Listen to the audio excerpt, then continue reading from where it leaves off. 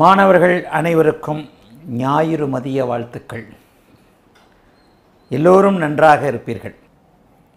ஆறரை டிகிரி. பதிமூன்று இருபது டிகிரி. இருபத்தி ஆறு டிகிரி. இதுதான் ஓரளவுக்கு ஷார்ட்டாக எட்டு பதிமூணு இருபத்தி ரெண்டுன்னு சொல்கிறோம் மனசில் தேக்கிறதுக்கான அமைப்பாக. இப்போ இந்த பதிமூன்று ஒரு நட்சத்திரம் ராகுவிற்கும் கிரகத்திற்கும் ஒரு நட்சத்திர தூரம்.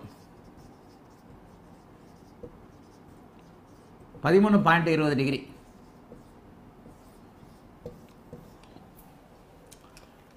இந்த அமைப்பில் இருக்கும் பொழுது ராகு அந்த கிரகத்தினுடைய ஷேடோவா? பலனை கவர முயற்சித்து அந்த கிரக பலனை செய்வார். அந்த கிரகமும் உயிர்ப்போடு இருக்கும். ரெண்டு பேரும் உயிர்ப்பு. ரெண்டு பேரும் செய்வாங்க.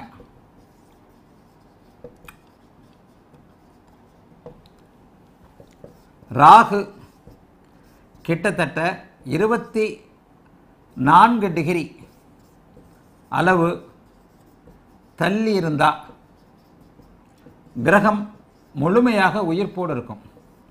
இருளுக்குள் போக போகிறது அந்த அந்த கிரகம்.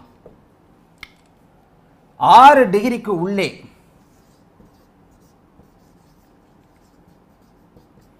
கிரகம்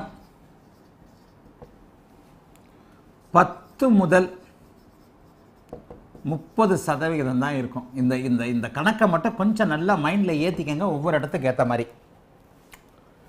ராகுவிற்கும் ஒரு கிரகத்திற்கும் இடையில பதிமூணு பாயிண்ட் இருபது டிகிரி அப்படிங்கிறது ஒரு நட்சத்திர தூரம். இந்த தூரத்தில் ரெண்டு பேருமே ராகுவின் தசையில் அந்த கிரக காரகத்துவங்களை அவர் செய்வார். ராகுவுடன் ஏழு கிரகங்கள். ராகுவுடன் கிரகங்கள். ராகு கிரக சேர்க்கை. ரொம்ப இன்ட்ரெஸ்டிங்கான பிளானட் ராகு. ராகுவை பற்றி மட்டும் அடிக்கடி சொல்லியிருக்கிற எந்த ஒரு நிலையிலையும் ராகுவை பற்றி நீங்கள் புரிந்து கொண்டால் மட்டுமே மிகப்பெரிய அளவில் மிகப்பெரிய அளவில் நன்மைகள் இருக்கும். ராகுவோடு ஏழு கிரகங்கள் போகிறதுக்கு முன்னாடி எந்த ஒரு கிரகமாக இருந்தாலும் ராகுவோடு சேரும்போது அது கிரகணத்தை அடைகிறது. எந்த ஒரு அதிகமான இருள் ராகு அதிகமான ஒளி சூரியன் அதிகமான இருளோடும் அதிகமான ஒளியோடும் சேரக்கூடிய கிரகங்கள் தங்களுடைய சுய இயல்பை இழப்பார்கள் அப்படின்னு எழுதியிருக்கிறேன் அது இந்த இடத்துல.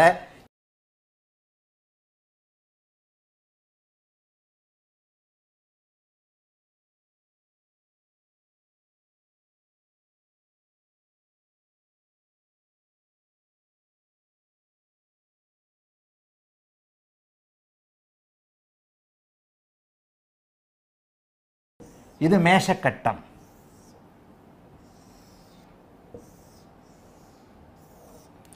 சூரியன் இந்த இடத்தில் இருக்கிறார். அவரோடு குரு இங்கே இருக்கிறார். இது ஒரே கட்டம். ராகு இங்கே இருக்கிறார். அவரோடு சுக்கிரன் இருக்கிறார். சந்திரன் நடுவில் இருக்கிறார். புதன் அருகே இருக்கிறார். அன்பு மாணவர்களே இப்போது நான் காட்டிய ஒன்று மேஷத்தை ஜூம் பண்ணப்பட்டது. சரி சூரியன் எட்டு டிகிரி. சூரியன் எட்டு டிகிரி. குரு பனிரெண்டு டிகிரி. சூரியன் எட்டு டிகிரி குரு பனிரெண்டு டிகிரி சந்திரன் புதன் பதினாலு டிகிரி சந்திரன் பதினாறு பதினேழு டிகிரி. கிரகணம் முடிந்து விட்டது என்று அர்த்தம். பதினேழு டிகிரி.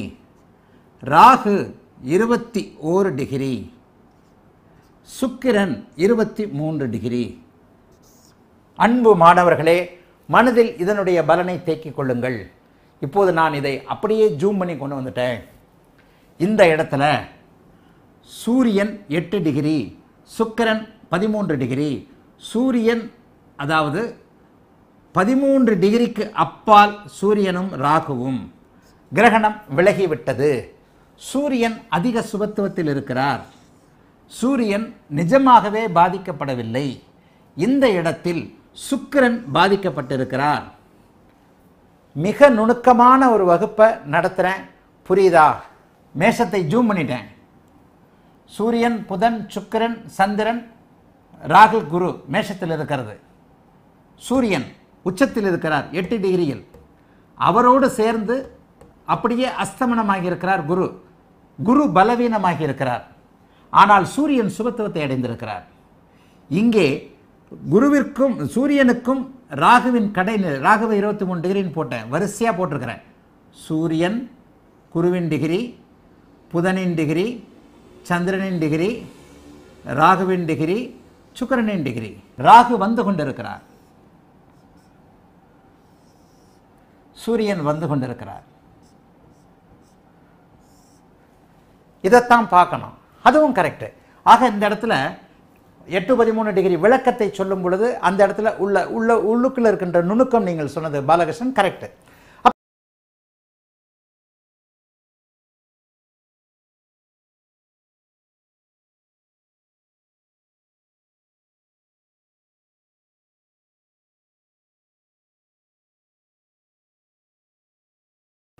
ராகு சுக்கிரனை முழுமையாக பீடித்து விட்டார். என்னுடைய பாஷையில் பீடித்துன்னுவேன். பஸ்பம் ஆக்கிட்டார்னு சொல்லலாம். பஸ்பம். சுக்கிரனுடைய பலன்களை அவர்தான் செய்ய போகிறார். இன்னொன்று குருவிற்கும் சுக்கிரனுக்கும் இந்த இடத்துல குருவை சுக்கிரனை சுபத்துவப்படுத்தக்கூடிய ஒரு நிலைமையில் இருக்கிற இன்னொரு கிரகம் குரு குரு. அவங்களுக்கும் இடையிலேயே பதினோரு டிகிரி ஆகிடும் அப்போ சுக்கிரன் இந்த இடத்துல முழுக்க வலுவிழந்து விட்டார். இவருடைய ஆதிபத்தியங்களும் காரகத்துவங்களும் வலுவிழந்து விட்டன. ராகு திசை நடந்தால் மட்டுமே. சரி இன்னொரு இடத்துல. உடனே அடுத்த பாயிண்ட்டுக்கு வந்துடணும். இங்கே சந்திரன் பதினேழு டிகிரியில் இருக்கிறார்னு நான் சொல்லிட்டேன். அப்போ இந்த இடத்துல என்ன? பரணி நட்சத்திரத்தில் சந்திரன் இருக்கிறார். அப்போ இந்த பரணி நட்சத்திரத்தில் இருக்கும்போது இவருக்கு சிறு வயதிலேயே சுக்கிரன் முடிந்து விட்டது. அப்ப மிகப்பெரிய நல்ல பருவத்தில் ராகு திசை வரும். ஆகவே இந்த ராகுவே விஷயத்திற்கு வாருங்கள். இந்த ராகுவே சுக்கிரன் தரக்கூடிய காமம் சொகுசு அத்தனையும் தரக்கூடிய நிலைமையில இந்த ராகு திசை இந்த ஜாதகருக்கு பருவத்தில் செய்யும். இந்த நிலையில பாத்தீங்கன்னா சந்திரன் சுத்தமாக டெட்டாகி இருப்பார். சந்திரன் இங்கே ராகுவால் பீடிக்கப்பட்டிருக்கிறார். அவர் ஏற்கனவே அமாவாசை நிலைமையில் இருக்கிறாரு. அமாவாசை நிலைமையில் இருக்கின்ற இந்த இந்த ஜாதகனுடைய சந்திர காரகத்துவம் அத்தனையும் பாதிக்கப்படும். ஏனென்றால் சந்திர தசை மிக முக்கியமான நேரத்தில் வரும். இந்த பரணி வந்து ஒரு பத்து பத்து வயசு வரைக்கும் இருக்கலாம். பதினா இருபத்தாறு வயசு வரைக்கும் கிட்டத்தட்ட ஒரு பதினாறு பத்து வருஷம் சந்திர தசை இந்த ஜாதகருக்கு சந்திரனுடைய தசை நன்றாக இருக்காது. சுக்கிரனின் ஆதிபத்தியத்தை எவ்வாறு ராகு தரும்? வயதர் கேட்டார் போல சுக்கர திசையில் கல்யாணம் ஆகும். லேட்டாகும் கல்யாணம். ராகு திசை வரும்போது தான் கல்யாணம் ஆகும். ராகு புக்தியில் தான் கல்யாணம் வரும். சுக்கரனுடைய காமம் பெண்கள் சம்பந்தப்பட்டது காரு வீடு வாகனம் எல்லாத்தையும் கொடுப்பதற்கு ராகுவே பொறுப்பேற்றுக் கொள்வார். அவ்வளோதான் ஆதிபத்திய ரீதியாக. எந்த லக்னம்? இப்போ ஒருவேளை இது வந்து பன்னிரெண்டாம் இடத்துல மே இதில் என்னது? ரிஷப லக்னத்துக்கு இவர் பன்னிரெண்டில் இருப்பார். சுக்கிரன் பன்னிரெண்டில் அமர்ந்து பன்னிரெண்டில் ராகுவோடு பீடிக்கப்பட்டு லக்னாதிபதியாக பாதிக்கப்பட்டிருக்கனால இந்த ஜாதகருடைய வாழ்க்கையே ஒரு மாதிரியான கேள்விக்குறியான அமைப்பாகவும் இவருக்கு திருமணம் ஆகாத சூழ்நிலையும் அதற்கடுத்து திருமணம் ஆக வேண்டும்னா ஏழாம் அதிபதி ஏழாம் வீடுடைய நிலைமையும் பார்த்துனோம்னு வரல. ஏழாம் அதிபதி ஏழாம் வீட்டுடைய நிலைமையையும் பார்த்துவிட்டு அதற்கு பிறகு ராகு தருகின்ற சொகுசு பெண்கள் ஆண்கள் காமம் காரு வீடு வாகனம் போன்ற அத்தனை சுக்கிரன் தருகின்ற அத்தனையும் ராகு தருவார் அப்படிங்கிறது தான் உண்மை.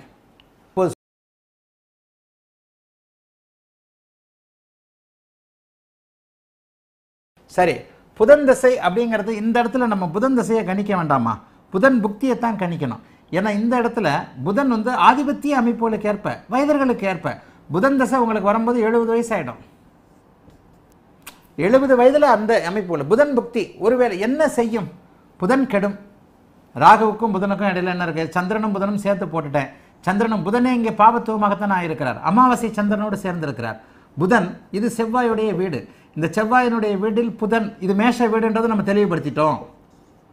இது மேஷம் அப்படிங்கிறதுல நம்ம தெளிவாக இருக்கிறோம். இந்த மேஷ வீட்டில் புதன் இருக்கக்கூடாது. அவருடைய வீட்டிற்கு எட்டாம் வீட்டிலும் அவருடைய இன்னொரு வீட்டிற்கு பதினோராம் வீட்டிலும் இருக்கிறார்.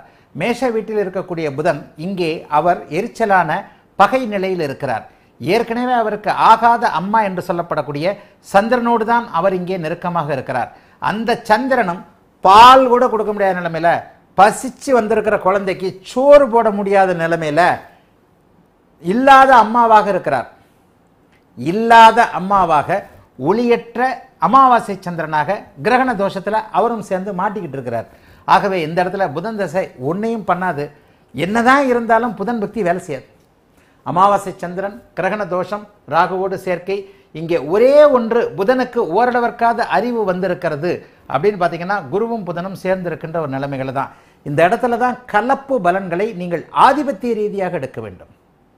கலப்பு பலன்களை ஆதிபத்திய ரீதியாக எடுக்க வேண்டும். இந்த இடத்துல கிரகணத்துக்கு அஸ்த- அஸ்தமன தோஷம்னு புதனுக்கு எடுத்த வேண்டாம். எந்த இடத்துலையும் அஸ்தமனம் கிடையாது. புதன் கெட்டு விடவில்லை. இந்த இடத்துல புதனுடைய டிகிரி பதினான்கு டிகிரி சுக்கரனுடைய டிகிரி இருபத்தி ஒரு டிகிரி ஏழு டிகிரிக்குள்ளே சுக்கரன் இருக்கிறாரு. இங்கே இவர் ராகுவோடு சேர்ந்து பலவீனமானாலும் ஒரு நிலையில் நண்பரோட இதைத்தான் நான் வேற மாதிரி சொல்லுவேன். புதன் என்கின்ற நிலையை எடுத்துக்கொண்டீர்களேயானால் இங்கே புதனுக்கு புதனுடைய மனநிலைமை இங்கே எப்படி இருக்கும்? இந்த இடத்துல ஆகாத அம்மா கூட உட்காந்துருக்கிறாரு நின்றுக்கிட்டு இருக்கிறாரு பக்கத்தில். இந்த பொம்பளையை கண்டாலே நமக்கு ஆகாது. இவன் நம்மளை வந்து திருட்டுத்தனமாக பெற்று குப்பத்தொட்டியில் போட்டு போனவ. குப்பத்தொட்டியில் போட்டுட்டு போன அம்மா தான் சந்திரன். குப்பத்தொட்டியில் போட்டுட்டு போன அம்மாவை வந்து எந்த பிள்ளையாவது விரும்புமா? பதினெட்டு இருபது வயசில் பார்க்கும்போது அம்மான்னு கூப்பிடுமா? எந்த பிள்ளையும் கூப்பிடாது. அந்த குப்பத்தொட்டியிலிருந்து எடுத்து வளர்த்தால அவளை தான் அம்மான்னு கூப்பிடும். நீ தான் உண்மையான அம்மான்னு சாமி எடுத்து கும்பிடும். என்னை பிறந்த மூணு நாளில் குப்பத்தொட்டியில் போட்டு போனேல அதான் அந்த சந்திரபுதன் தொடர்பு. எரிச்சலூட்டக்கூடிய நிலைமைகளில் இந்த இடத்தில் குப்பை தொட்டியில் போட்டுவிட்டு போன அம்மாவினுடன் புதன் இருக்கிறார். இங்கே புதனுடைய மனநிலைமையை மேஷ லக்னத்தின் அடிப்படையில் கேட்கிறார். இங்கே புதன் திக்பலத்தோடு ஒரு நிலையில் ராகுவோடு இணைந்திருந்தாலும் ஒரு நிலையில் பார்த்தீங்கன்னா இந்த எப்படி நீங்கள் இந்த இடத்துல கிரக சேர்க்கையை ஆதிபத்தியத்தின் அடிப்படையில் எடுக்கணும் அப்படின்னு சொன்னால் இந்த இடத்துல புதனை வந்து அந்தந்த கிரகங்களுடைய உறவுகளோடு நீங்கள் பார்க்கணும். இந்த இடத்தில் ஆகவே ஆகாத சந்திரனுக்கு அமைப்பில் எரிச்சலூட்டக்கூடிய ஒரு நிலைமையில் இருக்கிறார். இங்கே அறிவு மழுங்கி விட்டது. புதனுடைய செயல்திறன்கள் அத்தனையும் ஒடுங்கி விட்டன என்பதுதான் உண்மை. இந்த புதன் அவர் இயல்பாக இல்லை. தன்னை குப்பை தொட்டியில் வீசிவிட்டு போன தாயின் அருகே இருக்கக்கூடிய ஒரு குழந்தையின் மனநிலைமையில இந்த புதன் இருக்கிறார். அருகே திரும்பி பார்க்கிறார். இன்னொன்று அதாவது அவர் மிகவும் நம்புகின்ற இந்த இடத்தில் தாய் தன்னை ஏதேனும் செய்தாலும் கூட தன்னை காப்பாற்றுவதற்கு ஒரு நண்பன் இருக்கிறார் என்கின்ற ஒரு தைரியத்தை சூரியனை பார்த்தவுடன் அடைகிறார். ஏனென்றால் இந்த சூரியன் இங்கே கையில் ஒரு கத்தியவோ துப்பாக்கியோ வச்சுக்கிட்டு நல்லா இருக்கிறார். உச்சத்தில் இருக்கிற அமைப்பை நான் சொல்கிறேன் தன்னை காப்பாற்றக்கூடிய வலிமையில் சூரியன் இருக்கிறார் என்பதை பார்த்து மன நிலைமையில் மிகப்பெரிய ஒரு ஆறுதலை அடையக்கூடிய ஒரு சூழல்ல இந்த புதன் இந்த பக்கம் பார்த்தா அவர் நண்பராக அவரை நண்பராகவும் கருதக்கூடிய சுக்கிரன் இருக்கிறார் என்பது ஒரு தைரியமான நிலைமை. இந்த இடத்துல புதனை நீங்கள் கணிக்கும் போது இந்த பக்கம் ஆயுதம் ஏந்திய இவர் நண்பராக கருதக்கூடிய ஒரு நிலையில் இவரை காப்பாற்றுவார் என்று நம்பக்கூடிய ஒரு நிலைமையிலையும் அவரை பிடிக்கவே பிடிக்காத சந்திரனோடு இருக்கக்கூடிய எரிச்சலோடு கூடிய நிலைமையையும் அவரும் நண்பர் என்று அதாவது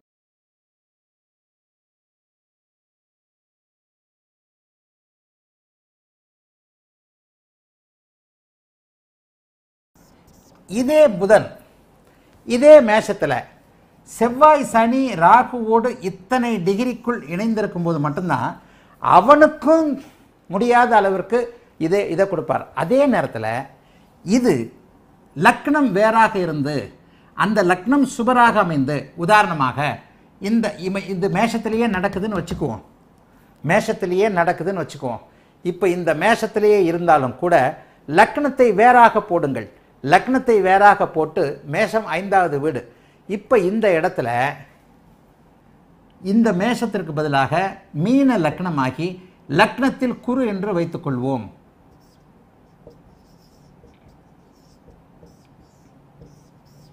மேஷ வீட்டில் புதன் செவ்வாய் சனி ராகு. மீன லக்னம் இது. லக்னத்தில் குரு திக்பலம். இந்த இடத்துல ஜாதகர் புதனுடைய கல்வி அறிவு இல்லாதவராக கல்வியில் பெரிய அளவிற்கு ஞானம் இல்லை கல்வியில் பெரிய அளவுக்கு ஆர்வம் இல்லாதவராக அதே நேரத்தில் நல்ல சிந்தனையாளராக ஞானவானாக லக்னத்தின் அடிப்படையில் இருப்பார். ஒன்றில் பலன் இல்லை. ஆனால்